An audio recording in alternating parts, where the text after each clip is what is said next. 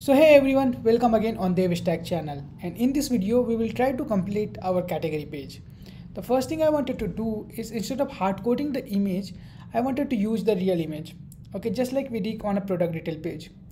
So in the product detail page, what we did that the first thing we created, uh, I mean we made our uploads folder as a static folder and put all the images related to the product inside the product images folder and later on we consume it okay using the static folder method okay? Similarly i have put all the images related to the category page inside a categories folder okay? Similar just like uh, we had to use our server. As of now i'm using a local host then we have to use uploads folder i mean uploads route. Then inside we have a categories folder. And inside the categories folder we have to use the exact name the name from where we are getting the name. If you remember that we have put a field called image url inside on our each category object. Inside the main category object inside the subcategory object also we have put the image url field and we will going to consume it okay? So for that what will going to be the url the url will going to be this okay and let's go on our here instead of using the asset we will use a network image. And instead of using asset image path we will going to use a network image path. And here we will not hard code the main.png instead of that we will use our main category dot image url to get the actual image URL. So in main category, we already have this image URL key, which we are getting from the backend. Okay. This one. Okay. So if I will hit the save and then you will find that all the images are replaced with the actual images.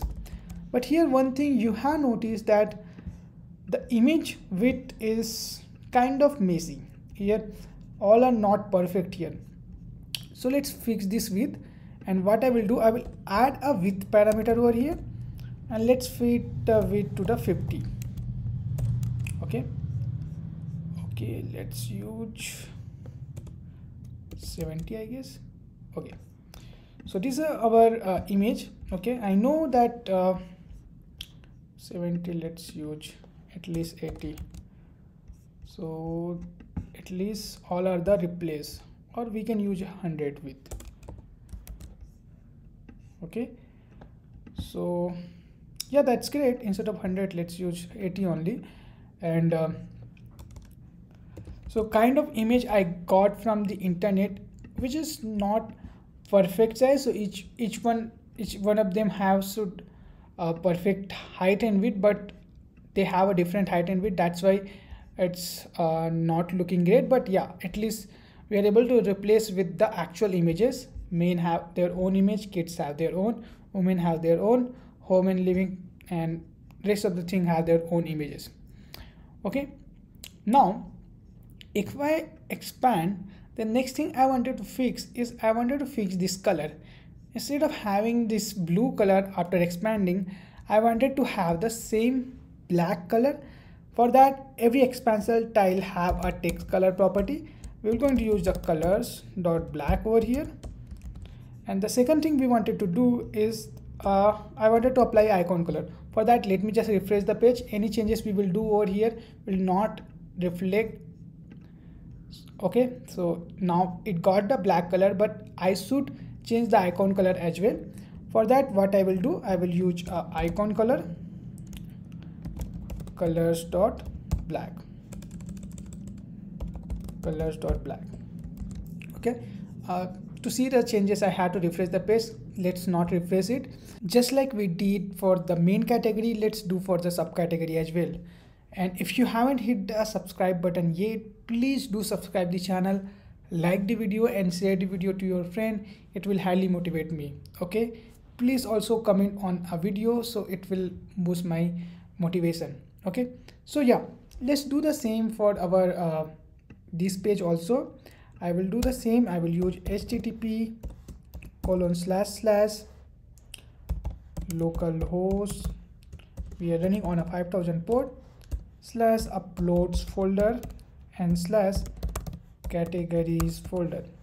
Now here also in each subcategory object we are getting our image url so i'm going to use the same over here and if i will hit the save then all the thing will change but it is giving an issue. Okay let's go over here. Let's copy the this thing. Uh, might be I just uh, use a wrong. Okay let's hit the save. Okay and the next thing I wanted to do is I have to use a network image. Okay hit the save. Yeah now everything is changed top wear footwear and rest of the thing. I think for the ethnic wear I should get a ethnic um, dot jpg ethnic wear is this ethnic wear. Okay. Let me just refresh the page. Okay i'm getting this. Okay and uh, the next thing we have to do over here is also have to add a width. Okay let's add width around 40 okay that's great. Everyone got a width. Let's do it as a 30 okay that's great. Um, I can restrict the height also over here. Instead of taking the whole height of the tile let's use a height of what will be the height. Our main height have 125 so let's use around 80 or uh, let's use 90 at least. So that will be great. Okay. Perfect. And uh, the next thing is instead of having this horizontal 10 if what if I will add 5 yeah let's add 10 only yeah everything is working fine and uh, we can move ahead for adding the app bar okay? So once we expand we have this kind of thing. Uh, let's apply the same kind of logic we applied. Instead of turning blue let's not turn it to the blue okay? Let's me go on expansion tile. Let me add this color. And let me refresh the page if I will go it will not turn blue. Okay. Um, let's add at least app bar first then we will fix later something else. So app bar will look like this. It have a category text it have the this uh, wish list and it have this one okay? And uh, okay rest of the thing are okay. So let's do it. So the first thing I wanted to do I will go on a categories.dart file and every scaffold again we're going to have a app bar. Let's use our app bar and uh, let's uh, what it is not app color it will be app bar okay? Uh, let's add a title. Title will going to be a text widget and the text will going to be categories hit the save the app bar will come. We will use a over here because it's not a dynamic text. And we will come to the styling part later. Let's uh, use a leading um, not leading um, center title as a false because we wanted to start from the beginning. Here you can see that it's coming from the beginning. Yes it has some kind of padding so we can add a padding widget over here instead of just a normal text i can wrap it with the padding widget. Okay so it will okay so we have wrap inside a container. That will also work. We can add a padding on a container. Edge inset dot original uh, symmetric sorry. And I will give a horizontal padding around 20 let's hit the save that come. Let's give a 10 perfect let's add a const over here because again it's static padding so it won't matter. And uh, let's come to the style part.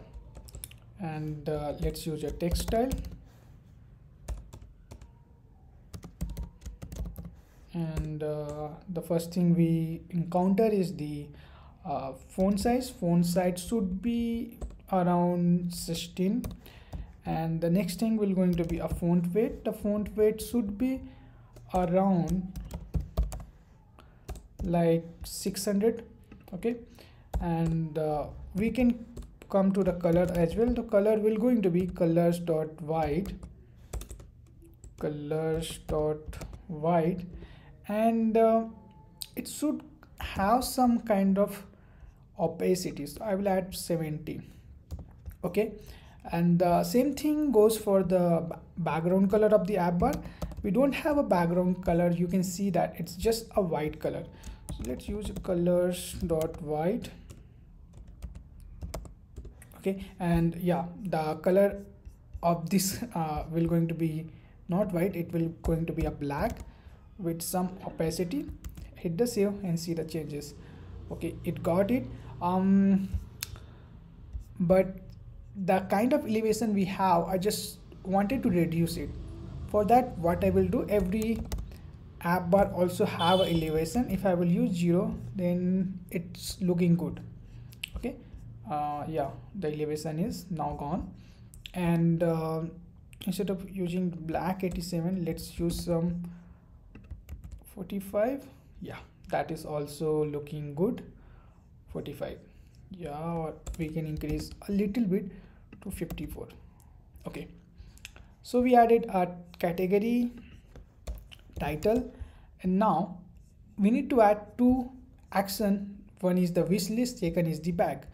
And for that what i will do every uh, app bar have a special uh, property called action. Inside the action we can put multiple icon button. So here i'm going to use icon button. On press will going to be a normal function over here icon and it will be a icons dot favorite. Okay the first thing and it will be outline as well. We have used in lot of places so yeah. So here we are getting some kind of issue okay let's add a comma to begin with the indentation. And it it should have a color as well because otherwise it will by default will take a white color. I will going to use a black color over here. Okay and that added. And uh, the second icon button will going to be let me put a cons over here as of now. And uh, let me just copy the second thing I just forgot the name of the color. Badge? Outline. No that will not be a badge outline. It's it was bag or office. Something I just forgot but we have used on a home page right? So let's go on a product page. I just forgot the name of the icon.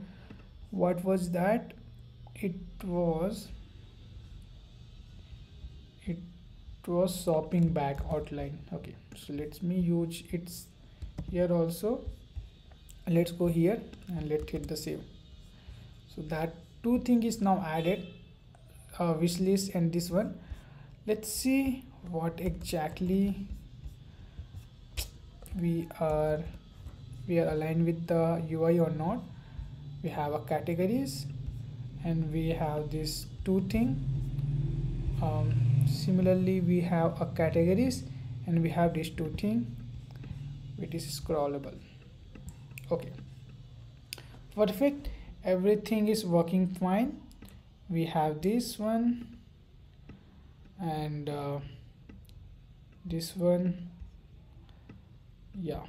And uh, to do this thing I mean the on tab let's add on tab as well over here on the list styles. So as of now on tab will going to be a empty function to see the ripple effect. I just wanted to see the ripple effect. Okay ripple effect is also working. Okay so that's great. Actually we covered a lot here and uh, we are perfect to add a functionality. Once we will click in one of the card then we will go on a this kind of page where we will fetch the data related to their own categories. Okay? Uh, remember in a product detail we have added a category field and we will consume it now. And we will do it in the next video. Till that please don't forget to subscribe the channel like the video and share the video to your friend. It will highly motivate me to make more videos let's see you on next video